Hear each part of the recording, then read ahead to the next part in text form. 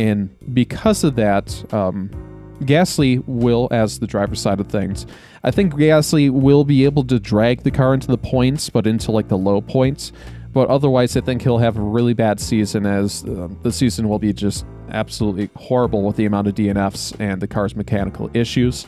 And to no fault of his own, I believe that um, Tsunoda will be dropped. Um, again, no fault of his own, just because the car is so bad. And um, Tsunoda doesn't have the exact same.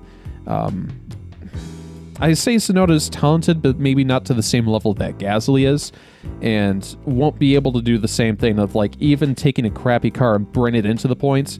I think uh, due to the DNFs, and I think uh, the emotional state that Tsunoda will endure will just um, just kind of compile on the car and the inability to get it to into the points will just eventually get him kicked unfortunately